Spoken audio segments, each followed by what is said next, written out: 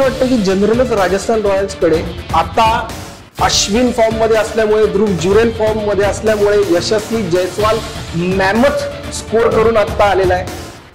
Fire power इतकी डेप्थच इतकी झालेली आहे कितपत चान्सेस बनतात राजस्थान रॉयल्सचे. ते ऍक्च्युली लास्ट दोन वर्ष बऱ्यापैकी चांगले खेळत आहेत आणि फायनल राऊंडमध्ये येत आहेत. पण चॅम्पियन व्हायला जे लागतं ते थोडस कमी पडतंय. राहुलनी कुठे बॅटिंग केली पाहिजे? एल एस मी जे काय राहुलचं करिअर बघितलं आय पी एलमध्ये आणि रेकॉर्ड बघा तुम्ही ते जे ते ओपन करतात तर थोडी जास्त स्वतः रिस्पॉन्सिबिलिटी घेत. आणि या माणसामध्ये क्षमता आहे. आम्ही, एक एक वर्ष गेलं आय पी एलमध्ये ऑरेंज कॅप पण ते जिंकले होते आणि खतरनाक लाईन अप आहे. आता हा, हा. जी नावं आपल्यासमोर येत आहेत खतरनाक लाईन